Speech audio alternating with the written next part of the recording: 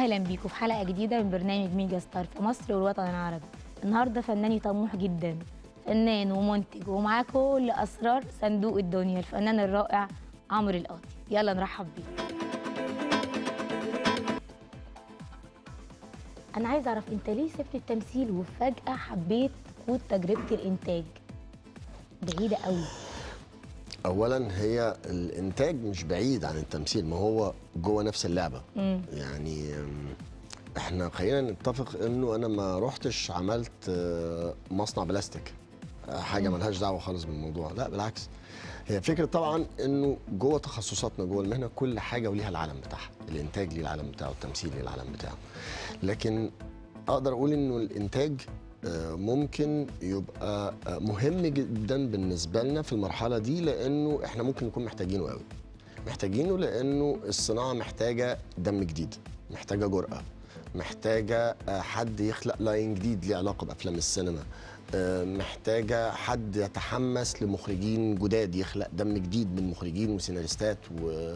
ويعمل حالة تفريخ للصناعة نفسها من نجوم صف أول وتاني ومهندسين ديكور. العالم كله اللي موجود جوه الصناعة.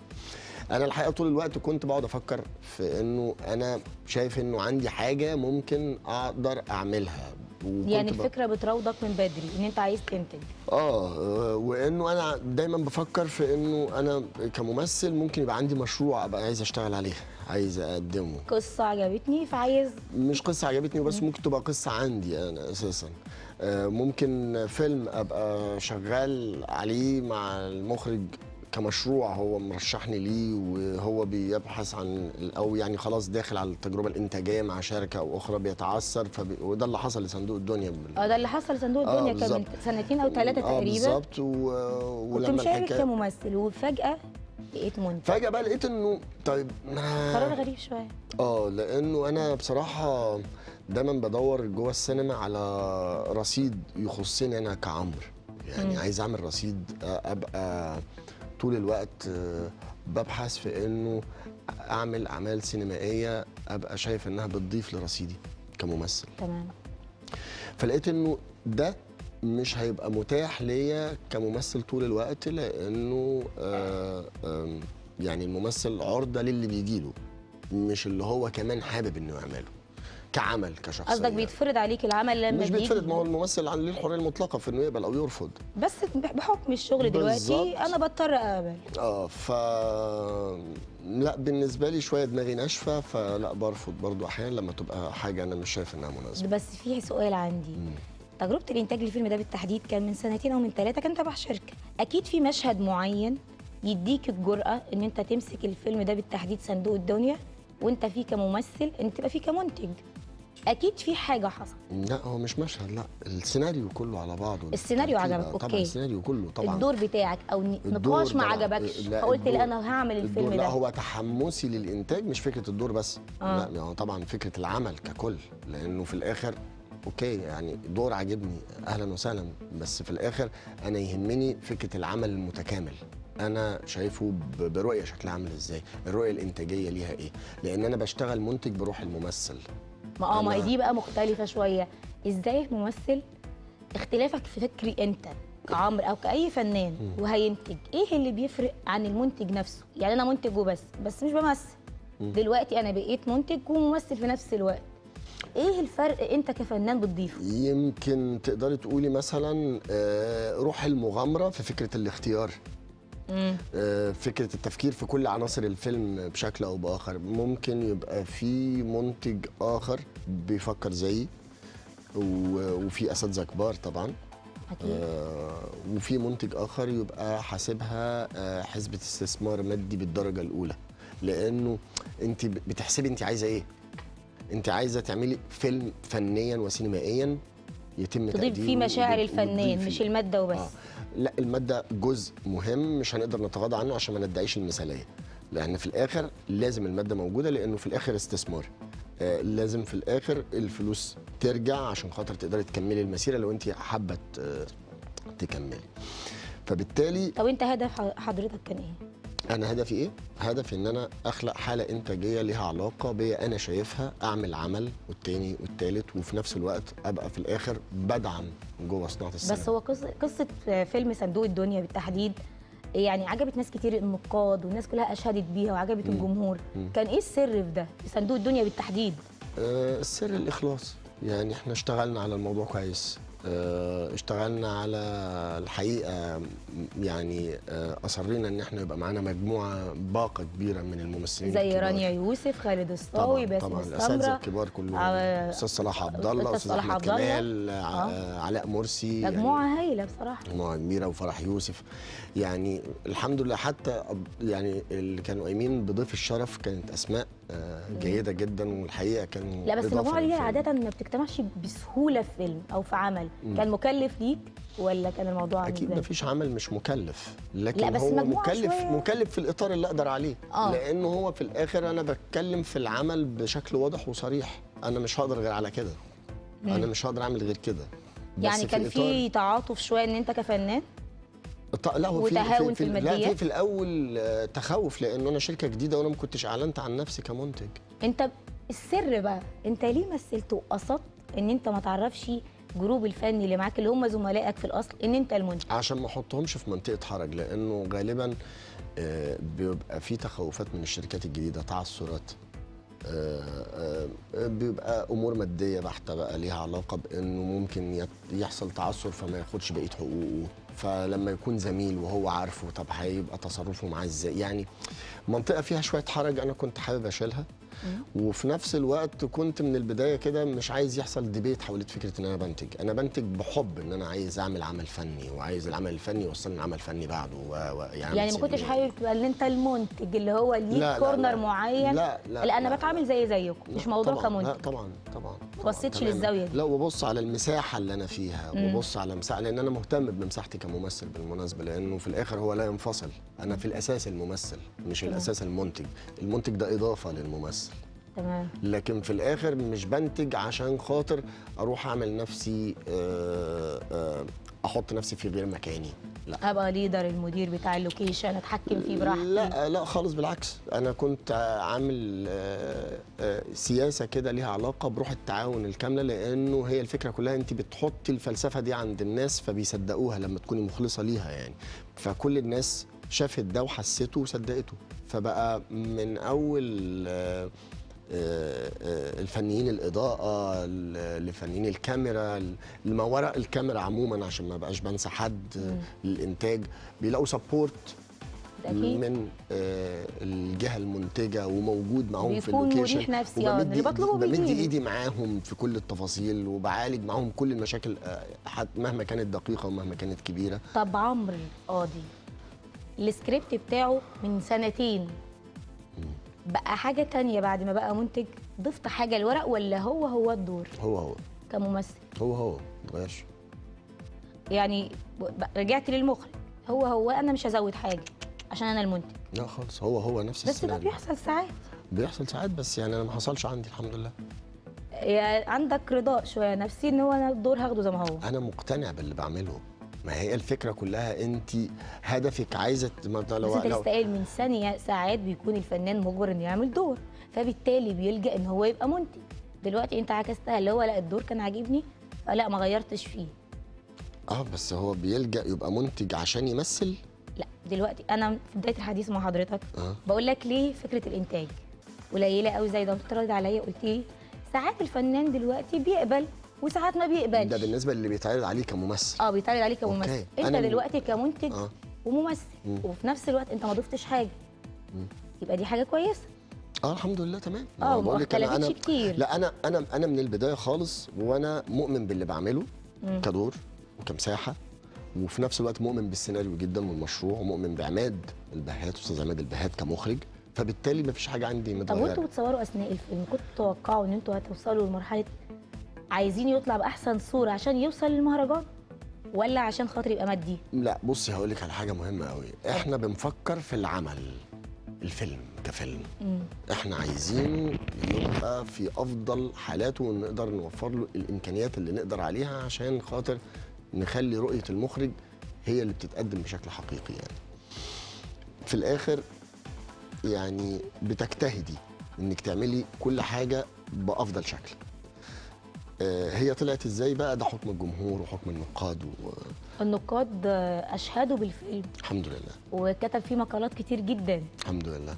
آه والجمهور كمان أشهد بيه. كان في سر غريب في تعامل العمل. آه نقدر نقول آه، حظ ولا كان عاوز ده أو ناوي ده؟ بص أنا مش مؤمن في الجزئية دي بالحظ. أنا مم. مؤمن في الجزئية دي بالاجتهاد. مؤمن في الجزئية دي بإن انت بتبصي لمشروعك إزاي بتشتغلي عليه إزاي. آه، بتحضريه إزاي؟ آه، بتفكري فيه ما بعد الإنتاج؟ آه، مرحلة بقى ال post production والمرحلة اللي ليها علاقة بال marketing كمان آه، هتسوقي الموضوع إزاي؟ هتعملي له بس دعاية أنت على ما أعتقد طالما طلع بالصورة المشرفة دي أنت مرتب لها من بدري. آه، تقدري تقولي إنه آه، حوالي آم، 70% آه. يعني بس طبعا الجزئيات الأخيرة يمكن في وقتها كان كنت بقعد أتفرج يعني بقعد أشتغل على التفاصيل بشكل دقيق لأن كنت على فكرة عندي أفكار بفكر فيها من غير ما يبقى عندي خبرتها قوي يعني. فبجتهد وبسأل أهل الخبرة طب بالنسبة لعمرو المنتج بعيد عن الفنان اخترت الفنانين اللي في الفيلم ولا سبت المخرج هو اللي يختار لا كنت معاه في كل التفاصيل الحقيقة. كان اختيارك لمين ومين؟ آه، اقترحت مين؟ كان اختيار لا كان يمكن كل الفيلم يعتبر كل يعني انت الفيلم. اللي مختارهم شخصيات مش اختارهم شخصيا بالتوافق. يعني أيوة، بنفكر توافق في إنه الشخصيات. فلان ولا فلان. طب أيوة. لا ممكن فلان. طب إيه ده بالمناقشات. مين اللي اتفق عليه؟ انت في نفس السؤال المخرج معاك اللي هو لا الشخصية دي انت اتفقت عليها في نفس التوقيت. كان مين؟ يعني غالبا آه، غالبا كله هو يعني ما اعتقدش إنه في حد من البداية خالص كان في اختلاف عليه. يعني حتى ال- الاسم اللي كان لأن هو في الآخر إحنا بنقول أنا لأن مش يعني متذكر. مثلا زي دور باسم أيوه. يعني يعني مش متذكر إنه مثلا آه، آه، مين فينا قال خالد الصاوي الأول؟ أو مين فينا قال آه، رانيا الأول؟ يعني مش مش هبقى متذكر ده لكن ما ما ما حصلش أي خلاف لا أنا قصدي. التوافق الفكري كان على شخص معين. يعني باسم السمرة ناس كتير قوي كانت بتتكلم على دوره. لا الدور ده ما كانش ينفع إلا لباسم السمرة. كان. توافق عليه أنتوا الاثنين في نفس الحمد التوقيت لله طبعا. آه، لا باسم ممثل كبير ونجم كبير و- طبعا. ووجوده بالنسبة لنا أضاف لنا كتير قوي للفيلم حقيقة يعني. طب ممكن ناخد فاصل ونرجع تاني؟ أكيد. فاصل ونرجع تاني.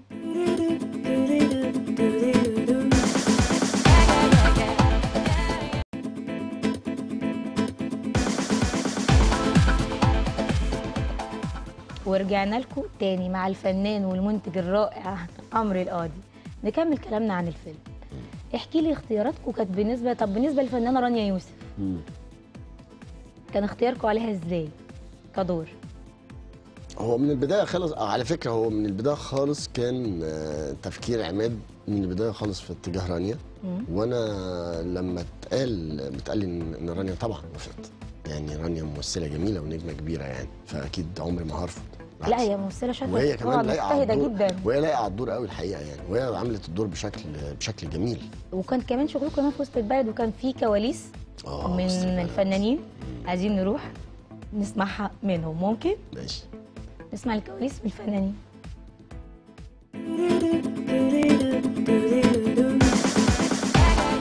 وبكده بنكون شفنا آراء الفنانين عن الفيلم. سواء الأستاذة رانيا أو الأستاذ خالد عبد الله أو الاستاذ خالد الصاوي. ونرجع تاني نتكلم في صياغة الفيلم.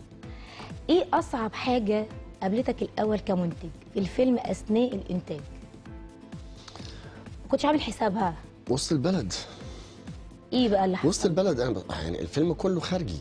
وفي وسط البلد انت صعبة قوي يعني إزاي فضيتوا طبعا انت بتصوري في وسط؟ الناس وسط المحلات آه آه، في عندك إجراءات أمنية مشددة في عندك آه، تفاصيل كتير انت معاكي معدات ومعاكي ممثلين ونجوم الناس بتحبهم ومعاكي آه، تجربة مجاميع قوية قوي كتير وسط البلد طبعا. دي ما بيحصلش. فيها أفلام إلا نادرا آه تكون جاهز. لها لا هو اللي بينزل بيبقى عامل حساب إنه هينزل يوم تصوير يومين تصوير يوم. مش مدة الفيلم كلها. والناس تعاونت معاك وكانوا متفاهمين؟ الحقيقة آه يعني الحمد لله. أنا كان الحمد لله ربنا يعني أكرمني بكاست إنتاج آه، شاطر جدا ومتعاون قوي كلهم شباب عندهم حماس والتجربة كانت فارقة معاهم وصدقوها وكانوا عايزين يثبتوا نفسهم بيها.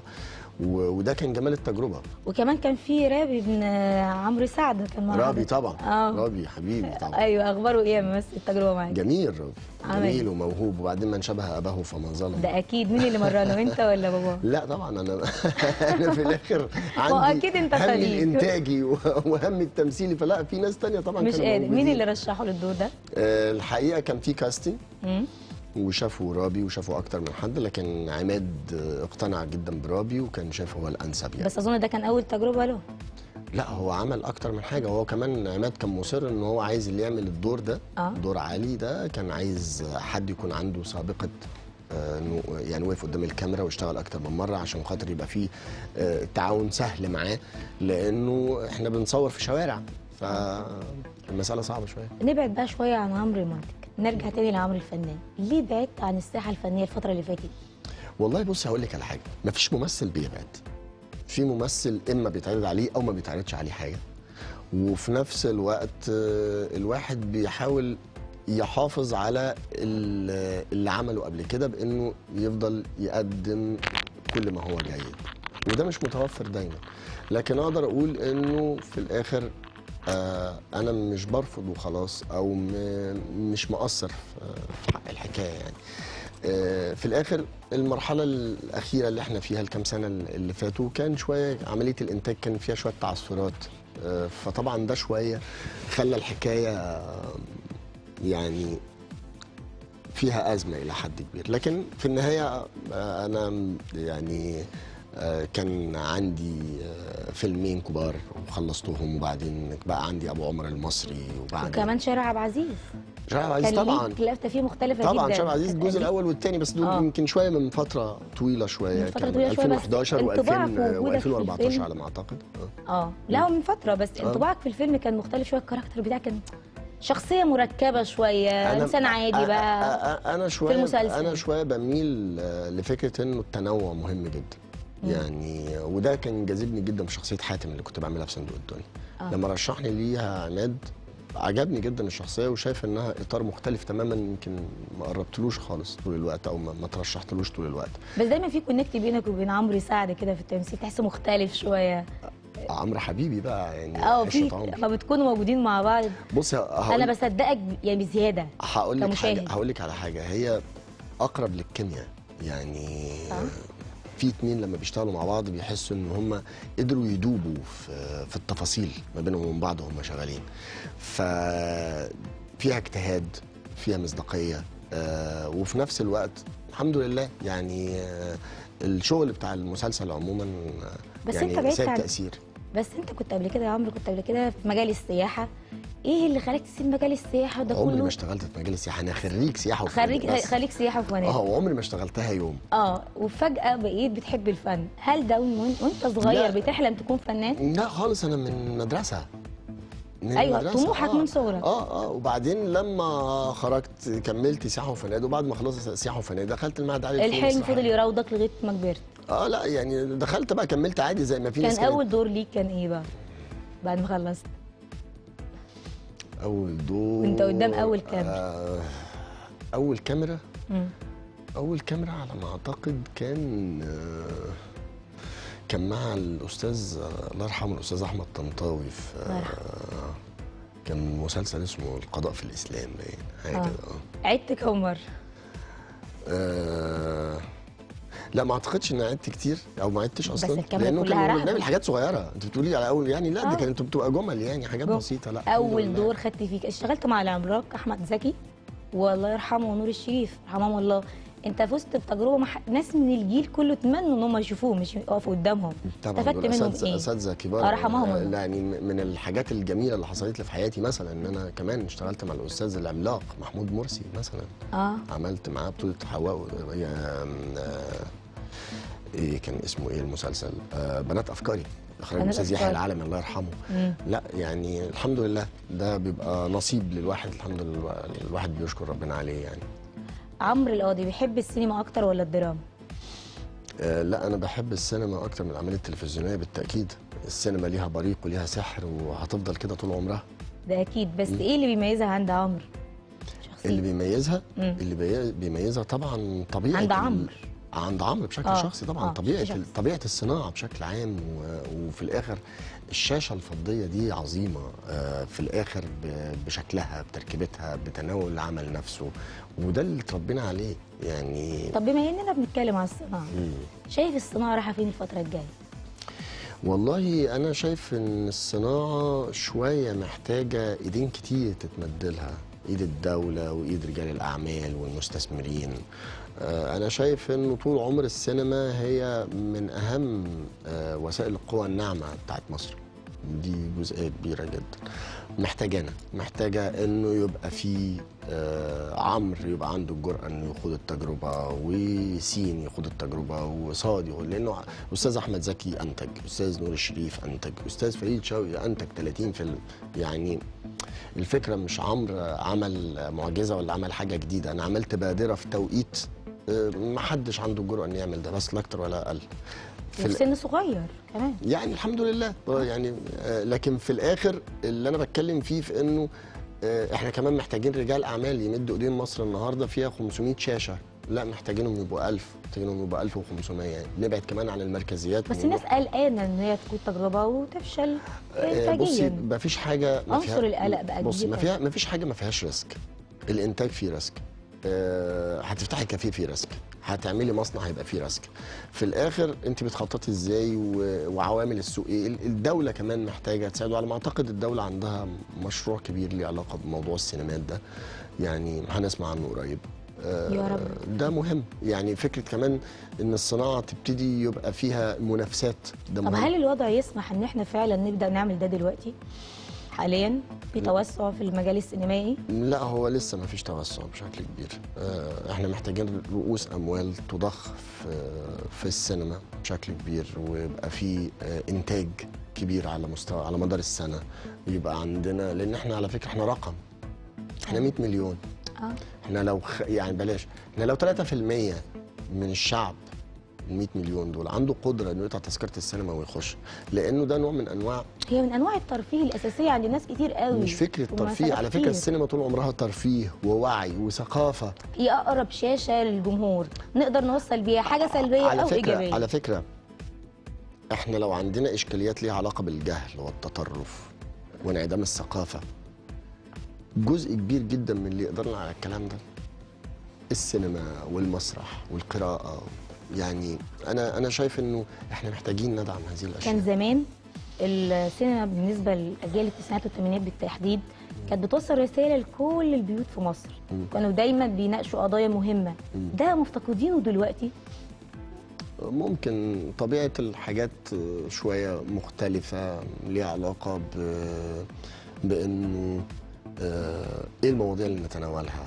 إيه ال- العنصر الجذاب للجمهور أكتر إيه؟ آه، ممكن المنطق التجاري شوية غالب على المنطق الفني اللي ممكن يبقى عنده جرأة في آه، في إنه آه، بينتج أعمال آه، ما هي دي فكرة التحدي إن طول الوقت يقول لك هو فيلم مهرجانات ولا فيلم تجاري؟ هو فيلم يعني فني سينمائي قوي ولا ولا فيلم للناس تخش تقطع تذاكر؟ يا جماعة مفيش فرق. يا جماعة أنا المهم في الآخر هو النهارده أستاذ عاطف الطيب الله يرحمه لما عمل الحب فوق هضبه الهرم وعمل الدنيا على جناح يمامه وال والأستاذ داوود عبد السيد. القصص يعني أرض الخوف مثلا أقدر أحسبه إنه فيلم آه، آه، آه، هو تجاري بس ولا فني بس؟ لا الفيلم فيلم. لا ناجح نجح طبعا. الفيلم فيلم في النهاية. أنا طبعاً. أنا ضد التقسيمات وضد التصنيفات. خلي الناس هي اللي تقسم وتبقى حابة تخش إيه وما تخش مش لازم كل حاجة أقدمها هي الكوميديا بس. لا بس أنت فيلمك أنت بس. بالتحديد لو إحنا هنتكلم لا كان بين- بيناقش قضايا كتير حلوة وكويسة وفادت الجمهور. دي النقاد كلهم كانوا موافقين عليه. الحمد لله. بدأنا نرجع للقصص بتاعت زمان يبقى في ده. وعي للناس. آه. يعني دلوقتي غالبا يا فندم بيبقى في ما نقدرش نقول بلطجة نقدر نقول الشاشة نفسها وإحنا بنتكلم عليها كفنان لما بيطلع على الشاشة بقى بيحس إن هو بيروج للبلطجه للأطفال يقول لك أنا عايز أبقى كذا ويتكلم بطريقة مش مناسبة. دي اتهامات ولا الممثل مظلوم ولا هو السكريبت اللي مكتوب كده؟ أنت رؤيتك إيه؟ في اللي بيحصل ده. أول حاجة مش عايزك تظلمي الممثل. الممثل ما هو سؤالي كده عايزه آه اسالك الممثل ملوش دعوة غير بالسيناريو والشخصية اللي جاية له. بغض النظر هو وافق أو رفض بس هو ده اللي هيعمله. ولازم يمثله صح وفق الكتابة ال- أو الدراما اللي متقدمة. لا بس في أحمد عندك أحمد حل... أحمد السقا أحمد حلمي ساعات بيعملوا الادوار دي بس ما بتوصلش بطريقة مباشرة إن الولاد يقلدوهم. في العكس بيعمل ده والولاد بيقلدوه. المفروض نلغي ده تماما. لا أنا ضد إلغاء حاجة في الفن.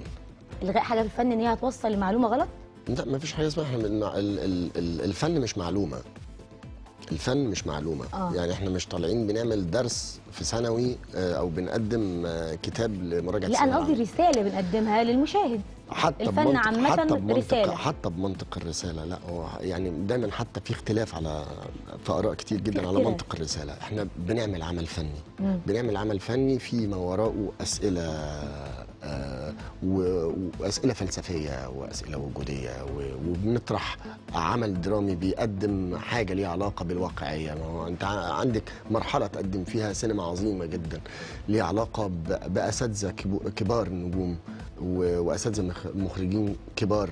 آه، كانت آه، كانوا رواد الواقعية الجديدة. وكملوا من بعد الأستاذ صلاح أبو سيف الأستاذ عاطف الطيب الأستاذ داود عبد السيد الأستاذ خيري بشارة آه، الأستاذ خان. يعني دول أسماء كبيرة وسابوا لنا أعمال ضخمة جدا. أعمال ضخمة. وعظيمة. بس أنت. لسه دلوقتي بتقول حالا السينما هي نعمة السينما النعمه المتواجده معانا. دايما بيوجود بيبقى موجود في مصر. بيبقوا عايزين يوروا الصورة السيئة مع إن بلدنا كتير يعني كويسة جدا وحلوة جدا. بيبينوا منها العشوائيات والطريقة الغلط الناس بتاخد الصورة كده دوليا إنما أول- مصر أول- هي أولاً- مليانة أولاً- أماكن أولاً عظيمة أنا, أنا ضد وجميله النظرة دي. مفيش حاجة اسمها أنا بصور آه، الصورة الوحشة والصورة الحلوة. أنا بصور العمل الدرامي بتاعي. مش بصور. مفيش حاجة اسمها إبراز. في حاجة اسمها أنا بقدم دراما ليها علاقة بعمل سينمائي. في الآخر أنا لو طالع وشي محروق مش هجمله عشان خاطر أقول هو المقصود منه إن أنا أكون محروق. لا يعني أنا بقدم الفيلم بطبيعته بشكل الدراما بتاعته عشان أخلق فيلم بس حقيقي. الدراما. ما تكونش ما- طالعة بالصورة. لا ما لا فكرة مش إن أنا ده. لا فكرة إن أنا هقعد أقسم الدراما عشان أقدم إيه الحلو اللي ممكن يبقى شكله بألوان الطيف السبعة؟ لا. مش حاجة اسمها كده. إزاي؟ إزاي؟ طب ما إحنا بتقدم قلت. خلاص. لسه إحنا بنتكلم. أنت دلوقتي كمنتج. هتبص الأول حاجة هتبص على القصة. إذا كنت الف... إذا كان الجمهور هيستفاد منها ولا لأ صح؟ مش هيستفاد. الفكرة مش فكرة استفادة. يعني. ولا حتى فكرة. الرسالة. أنت بتقدمي. عمل. عمل واستمتاع يعني رسالة. أنا هقول لك على حاجة مهمة. مثلا لما نيجي أذكر لك مثلا على سبيل المثال مثلا صرصرة فوق النيل. أستاذ نجيب محفوظ. أه. عندنا خلاف عليه؟ لا طيب هو قاعد بيقدم مصر بشكلها المتمكيج ولا مقدم رواية في جواها حكاية؟ جو بأبسط الأمور من غير ما نقعد نقعر الحكاية. جواها حكاية ورواية قدرنا إن إحنا نستوعبها كرواية في الأساس وبعدين اتحولت لعمل سينمائي اتعمل له سيناريو وحوار من آه، من وحي هذه الرواية. وبالتالي الفكرة فكرة إنه أنا ببقى شايف شيء في اللي بقدمه مش لازم الشيء ده يبقى وراءه بقى أنا هقدم مصر شكلها عامل زي مصر جميلة من غير ما أنا هقعد أفكر. بس سبحان الله كان الله يرحمه نجيب محفوظ كان تحس إن هو بيقدم اللي هو رواية لأن ما تقلدوهاش. في شعور كده على الكاميرا بيحصل زمان كان متواجد. لا دي رواية يا جماعة. الناس دلوقتي بقت يعني حابة التقليد وعمالة تعمل حاجات ممكن تشوش عيون الأطفال. يعني مثلا مشهد مش كويس ممكن نخلي مثلا ابن أختي ما يتفرجش عليه. آه، آه، عشان ما يبقاش في ذهنه الوجداني آه، أنا أنا في فكرة الأطفال أنا آه. معاكي. يعني الجزئية اللي حضرتك آه الجزئية اللي حضرتك بتتكلمي فيها في فكرة الأطفال طبعا أنا معاكي لأنه ده سن شوية وعيه لسه محدود فلازم أديله كل ما هو محدود على قدر استيعابه. لكن في الآخر لما نيجي نتكلم عن عمل سينمائي آه، هت- تطرحيه في السوق بشكل كبير. ليه علاقة بجمهور واسع؟ هيدخلوا آه، في السن العشرينات والثلاثينات والأربعينات والخمسينات والسبعينات إلى أن يشاء الله لحد ما الناس كلها ربنا يديها طولة العمر والصحة. ففي الآخر أنا مش هقعد أختار العمل آه، اللي يناسب السن وهو في الآخر ممكن يشوفه إزاي. الجمهور ليه مطلق الحرية يرى ما يراه وليه حق التقييم. وأنا كمان ليا حق الاختيار في إن أنا أبقى بحترم المشاهد بحترم وجدانه بحترم عقله في إن أنا أختار له أختار الأول العمل اللي أنا عايز أقدمه وهو في الآخر ليه حق إن هو يعني يس- يستقبله بالشكل اللي هو شايفه. عجبه وما عجبوش. إحنا بنجتهد اولا بنجتهد بس نجتهد نبقى يعني بما إن إحنا دلوقتي متواجدين بنتناقش على قصة الفيلم وهنكون معانا منتج وهو المتحكم الرئيسي. خلينا نتكلم يعني بوضوح. المنتج هو المتحكم الرئيسي في الفيلم. أكيد أكيد. رسالة أنت تقدمها لأي منتج. يا ريت يكون مثلا مفيش فيه عنف مفيش فيه ما- وجدان الأطفال ما يتشوهش. أقدر أقول مثلا إيه أسيب التلفزيون مفتوح ويتفرج. إديني ال- الروشتة أو ال password إن أنا أسيبه على الشاشة. ما بصي هقول لك على حاجة. ال- السينما السينما ك كعنصر entertainment موجود في العالم كله. آه موجود في كل الأنواع. كل الأنواع. كل الأنواع. موجود في الأكشن. موجود فيه الاي والاي بلس والبي والبي بلس والسي ده موجود في العالم كله مش في مصر بس. أكيد. يعني بس اللي أنا على الساحه الفنيه دلوقتي المتواجد دلوقتي. العكس. قصدك اللي منتشر بشكل المنتشر أوسع. بشكل طب عام. يلا نحط. البديل. يلا نحط ما البديل. تمنعيش بس حط البديل. حط لي البديل. أنا ابتديت. في غير آه ده اللي أنا بقوله. أنت كده. ابتديت. آه. هتكمل على كده. آه طبعا. هتكون رسالة. فيها ناسبه للمشاهد والجمهور يستفاد منها. فيها فيلم يحترم الجمهور. ويحترم سيبك من الجمهور. الرسالة. في فيلم يحترم الجمهور. لما تخشي يبقى عندك أداة المتعة الحسية والبصرية وانت بتتفرجي على الفيلم شايفة موضوع عاجبك بغض النظر عن تقييمك ليه إيه أو تحليلك ليه إيه شايفة آه تمثيل شايفه شكله حلو آه، شكل كادر حلو آه شكل مزيكا ده جميل حلو جدا ويعني يسعد أي مشاهد. بس دايما كان زمان زي ما انت بتقول نجيب محفوظ في غيرهم كتير عظماء طبعا عملوا أفلام ناقشت قضايا مهمة. وبناء عليه. نزل قوانين ليه؟ لأن فعلا يعني مثلا فيلم بتاع فريد شوقي لما قال آه، وعد شرف. في قانون نزل في ده. بدي بالتحديد أيوه أنت كان- كده وصلت معلومة. وكان في الفيلم بتاع الأستاذة فاتن حمامة اللي هو وفي- اريد حلا. في كتير في حاجات كتير قوي متواجدة. مم. ليه ده مش موجود دلوقتي بحيث إنه يساعد؟ يكون في مثلا قانون إحنا نناقش قضية مهمة يمكن جدا. يمكن طبيعة المرحلة شوية فيها أشياء كتير جدا متضاربة. ال- المواضيع عموما بس تنصح بيها. آه ما فيش حاجة ما انصحش بيها. يعني كل اللي يقدر يقدم شيء بشكله الجيد والمختلف و ما- ده ده دي ميزة التنوع إنه أكيد اللي عمرو هيقدمه غير اللي آه سين هيقدمه غير اللي صاد هيقدمه وكله ليه الاحترام على مجهوده وعلى شغله. في الآخر إحنا عايزين نبقى متنوعين عندنا حق المنافسة إن أنا النهارده أبقى قاعد آه، وموجود مع ممثلين أصدقائي. أنا بمثل في فيلم وهو بيمثل في فيلم وهو بيمثل في فيلم وده بيمثل في مسلسل. عندنا شخصيات وعندنا تنوعات وعندنا دراما. هي دي الصناعة اللي إحنا عايزينها في الآخر. مصر اللي كانت بتقدم في رمضان لوحدها من 60 ل 73 مسلسل. هنتكلم مصر- في ده بس ممكن ناخد فاصل. حاضر حاضر. فاصل ونرجع تاني.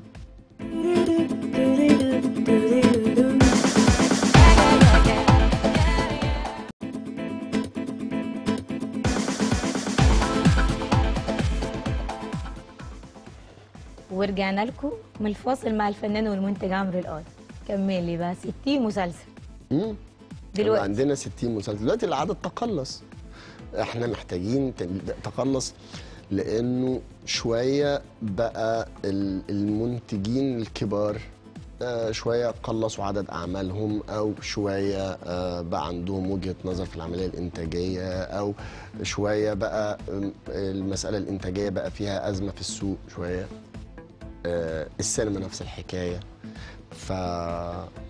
فالمسائل شوية محتاجة دراسة محتاجة لأنه ده سوق ضخم جدا وكبير. طب هل الفنان هو له أسلوب أو وجود كبير إن هو بقى بيطلبوا أرقام كبيرة؟ الله أعلم هو الكلام ده صحيح أم غير صحيح. ده جزء من الأزمة فعلا الإنتاجية؟ بصي أنا هريحك. عشان القصة دي الناس كلها بتتكلم فيها. يا ريت يا ريت تديني معلومة اليقين الجزئية دي أنا يعني شايفها دايما آه، زي بالظبط يقول لك العرض والطلب. يعني بمعنى سين من الناس مطلوب ومطلوب من قناة من كبرى القنوات. عايزين مسلسل لفلان الفلاني. اختاروا ورق واعملوا عمل ضخم بالرقم ده. لأنه القناة عندها نسبة إعلانات بتكسبها بسبب وجود هذا الشخص بمسلسل عندهم أو الفنانة الكبيرة نفس الحكاية عندهم في القناة فب- فبتكسب. فهو كمان بيروح طالب وفق ده رقم يناسب اسمه ويناسب وضعه. خلاص عشان خاطر يعمل ده. اللي أنا شايف إنه في الآخر في حلقة متصلة القضية مش قضية الفنان اللي بيطلب فلوس لوحده. لو هو بقى الرقم بتاعه طاغي على على رقم الإنتاج بتاع العمل دي أزمة منتج وأزمة قناة وأزمة آه، آه، يعني آه، وكالة الإعلانات دي مسألة محتاجه محتاجة دراسة. لكن في الآخر أنا مش ضد إنه حد نجح. ما هو بره لما تيجي تبص تلاقي واحد بياخد 100 مليون دولار. 50 مليون دولار 70 مليون دولار. ليه؟ الصناعة مختلفة بره عن مصر. مفيش حاجة في الآخر اسمها الصناعة. في الآخر فيها العرض والطلب. في الآخر في النهارده كريستيانو رونالدو مثلا أي كليكاية بيعملها على الإنستجرام بياخد رقم داخل في حوالي 900 مليون يورو ولا دولار عشان خاطر الكليكاية اللي بيعملها. العالم اختلف شكل ال business اختلف. فإحنا كمان ما نقعدش نبقى واقفين عنده هو فلان الفلاني بياخد الرقم ده كله ليه؟ ما ياخده. لا بس في مواهب كتير متواجدة. ما بتاخدش ربع الأرقام بتاعت الناس دي آه ماشي مطلوب كقناة بس في مواهب بجد. دي قضية أخرى. ما هي نفس إن- القضية. ما لا، هو ده لا، إحنا لا. اللي وصلناهم لكده. لا لا لا. بس إحنا عشان حط بعد إذنك. إحنا عشان وصلت لحضرتك إن أنت نمبر 1 إن أنت مفيش غيرك على الساحة الفنية أكيد هتعارض. إنما لو حسست إن ليك منافس اتنين وتلاتة وأربعة في ناس كتير بتعرف تمثل كويس وده بنشوفه ونقول ده تمثيله حلو بس مش واخد فرصته. ما إحنا اللي وصلنا الفنانين هم يعملوا كده. طيب. أول حاجة لازم ناخد بالنا منها مم. إنه في الآخر فكرة مين بياخد كام ده ملوش علاقة بجزئية إن إحنا عندنا مواهب كتير. آه لا. عذرا؟ بمعنى إن أنا دلوقتي لما يكون عندي فنانين كتير قوي بديها فرصة مثلا عمرو القاضي باسم السمر خالد الصاوي أحمد عز أحمد السقا ومخليهم على طول على الساحة هم كلهم. مش اتنين تلاتة اللي بيشتغلوا في السنة متواجدين معايا. لا بشغل الكل. أنا كمنتج يعني انت حضرتك كمنتج. فبالتالي مش هخليك تبالغ في الأرقام دي أقول إيه؟ لأ هنجيب تاني. لو أنت رفضت هجيب تاني. يبقى في عنصر اللي هو إيه؟ غيرك. فيه بديل. طبعا. طالما في بديل يبقى أنا مش هاخد الأرقام دي كلها. أول حاجة لازم نبقى متفقين عليها. أيوه. إنه فكرة إن أنا أبقى فاتح المجال أمام المواهب الأخرى وعملية التصعيد والتفريخ ده شيء. وإنه ال- النجم أو الفنان أو ايا كان مين هو اسمه مطلوب من المؤسسات اللي بتشتغل الميديا عموما أو بتشتغل عالم الإعلان. ده واقع تاني آخر. فبالتالي النهارده هي مهمة ال- الشركات الإنتاجية إيه؟ إيه؟ إنها تبتدي تعمل عملية تفريخ. يعني في الآخر لو أنا عندي خمس نجوم بس في السوق لا محتاجين يبقوا 10 و15 ده اللي أنا بقول عليه. آه بس ده ملوش علاقة بالشخص الآخر بياخد رقم. طب المنتج يرفض هيرفض. بس ثواني قلت دلوقتي مطلوب بالاسم بس لما يبقى عندي 10 أو 15 هقول غيري هيعمله. فهضطر أعمله بالرقم المتاح. صدقيني هي الفكرة كلها مش فكرة مؤسسة واحدة مش فكرة شركة الإنتاج بس. ما هو لو على شركة الإنتاج هو أكيد مش حابب إنه يطلع من جيبه رقم ضخم قد كده ويبقى هو مش واثق. عمره ما هيخش يعمل كده وهو في حالة ريسك. مفيش مغامرة. خلاص هنتخطى الموضوع. نشوف حلقة تانية في عايز حلقات. أمال وأحلام عمرو القاضي. قدام إيه؟ إن أنا أفضل أعمل اللي بحبه. يعني أنا عندي طموح وأحلام لا تنتهي. وعشان كده أنا دايما مش ببص إن أنا آه، آه، عمري آه، ممكن يبقى نهايته فين. نهايته فين ده بإيد ربنا. لكن في الآخر بفضل احلم طول الوقت أنا عايز أعمل إيه. وأنا بحب اللي بعمله الحقيقة. و... وعايز أظل طول الوقت أبقى بعمل ال- اللي بحبه واللي مقتنع بيه. لا أنا عاجبني قوي إن أنت مصر وعندك باور أنت تعمل ده ومستعد. يعني قابلت نجوم كتير قعدت معاهم. دايما يقول لك الحظ نصيب أنت لا مع إنك سنك صغير بس ناوي تطور من نفسك يبقى في جديد. آه، عندك قابلية ب لا ب 10 15 ع- كمنتج عندك روح إن ممكن تجدد ده. فبالتالي أنا مبسوطة منك جدا يا ريت كل الناس كده. يا ريت. والله الحمد لله يعني واكيد في ناس كتير كده يعني أنا بس في الآخر إن أقدر أقول إنه الممثل هو اللي عامل فيها كده مش المنتج. الممثل. أنا طول الوقت بحلم بشخصيات وبحلم بمشاريع وبحلم بأفكار. المنتج يبقى هو اللي بيديرها. لكن الأساس اللي خلق الوعي واللي خلق التراكمات واللي خلق إنه فكرة أقرأ إيه وأتفرج على إيه و... وطول الوقت بربط المواضيع ببعض وما بفصلش الواقع عن فكرة أنا بفكر في إيه. آه، ده الممثل. إيه الدور اللي عمرو القاضي بيحلم إن هو يعمله في أحلامه؟ بعيدا عن ان أنت منتج بقى. نقول في الواقع بقى كمان مش في الأحلام. أنا بتعامل على إنه مش كل حاجة واقع ومفيش حاجة مستحيلة. آه نفسي أعمل آه يعني قصة حياة الأس... يعني الدكتور العالم آه، يحيى المشد الحقيقة. يكون من إنتاجك ولا السنة هيتعرض عليك الله أعلم. يعني أنا طول الوقت بشتغل على من إنتاجي وغير إنتاجي يعني في الآخر كل شيء متاح. طب أنت نفسك تقف قدام مين وتعمل دور؟ تكون مستمتع من مين؟ أكتر فنان بتقف قدام تكون مستمتع وأنت بتمثل معاه. لا في أساتذة كبار كتير. زي طبعا مين؟ اديني أسامي. طبعا. لا بلاش أسامي عشان خاطر ما بنحبش نزعل حد لكن في الآخر في أسماء كتير جدا طبعا الواحد يتمنى يشتغل معاها و... وفي نفس الوقت يبقى في حالة متعة فنية والواحد شغال معاها أكيد. هل ممكن نشوف مسلسل قريب إنتاج عمرو القاضي؟ وارد بس أنا مش مش مركز قوي في القصة دي. أنا الحقيقة تركيزي الأساسي كله منصب في السينما. في حاجة ليك في رمضان؟ لا. لا عشان ما تعرضش ولا لا مش عايز. لا ما تعرضش عليا الحاجة. ما جاليش حاجة. لحد دلوقتي ما فيش. ما خلاص بقى رمضان كمان ساعتين. خلاص صح طب خلاص يعني طيب هنقوم نسحب يا رب بس دلوقتي في ظل ال- الظروف الصعبة دي ربنا يعين اللي عنده مسلسل لرمضان يعني. يا رب خلاص يعين. رمضان دلوقتي دايما في شغلتنا بنقول خلاص بيقعدوا يغيظوا بعض يقول لك فاضل على رمضان 40 يوم فاضل على رمضان 35 يوم. عارفة أنت؟ وكل ما يتقال الرقم بتاع تحديدا الإخراج والإنتاج بيبقوا هم أكتر ناس متكركبين كان الله في عونهم. هل مصر دلوقتي فقدت قدوة ان فنان تقول لك لا ده قدوة السينما فقدت الكلمة دي. ان هو ده واحد بي... الصناعة نفسها حد بيعمل صناعة يكون قدوة كفنان. يقول لك إيه الفنان ده بجد بيعمل أدوار كويسة جدا قدوة إن إحنا نقلده. اللي هو بيدي رسالة. ده ما زال موجود ولا لأ؟ يعني كان عندك محمود عبد العزيز أحمد زكي. قدوة. نور الشريف طبعا عمل حاجات كتير كويسة جدا. طبعا الله يرحمه أحمد زكي وكتير طبعا من الأسماء. بس في حد متواجد على الساحة الفنية دلوقتي قدوة ولا؟ قدوة بالنسبة لمين؟ للجمهور. للجمهور. للجمهور. طيب. أول حاجة آه لازم نتفق عليها مم. إنه ممكن الأستاذ أحمد زكي الأستاذ محمود عبد العزيز والأساتذة الكبار كلهم عشان ما بقاش ب... ب... أسامي ب... كتير. بنسى اسم حد يعني. ممكن يبقى قدوة بالنسبة لنا كممثل لأنه آه أنا شايف إن أنا ممكن آخد منه حاجات كتيرة جدا على المستوى العملي. لكن بالنسبة للجمهور الأساتذة الكبار ما طرحوش نفسهم كقدوة. إحنا اللي صنفنا الجمهور اللي صنف. الجمهور يصنف بالحب الفني الفن لكن عشان بيعمل فن كويس. بيعمل فن كويس فيبقى مش قدوة. هو في الآخر بالنسبة له قدوة فنيا لكن مش قدوة اجتماعيا. ليه؟ عشان بس النقطة دي مهمة قوي لأن إحنا طول الوقت عايشين في إشكاليات. يا ريت آه. الممثل بني آدم.